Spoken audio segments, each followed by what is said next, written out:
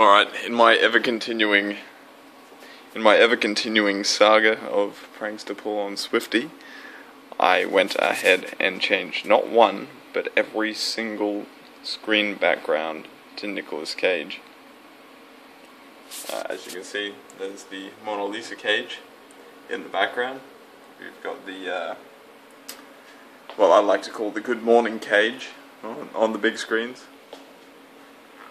Uh, we've got the Good Morning cage on that screen. We've got Hot Woman cage on uh, on that screen, and on Ozzy's screen, which currently has a Facebook. Uh, let me let me just minimize that real quick.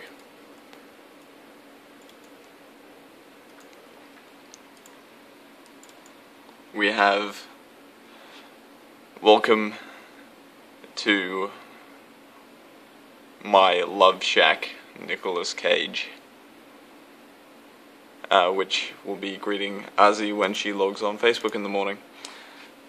So, I'm entirely prepared for retribution. I'll be disappointed if they don't get me back for this.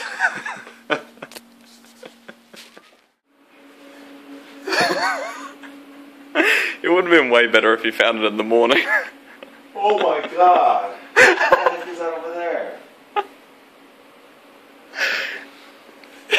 On all the computers? yep.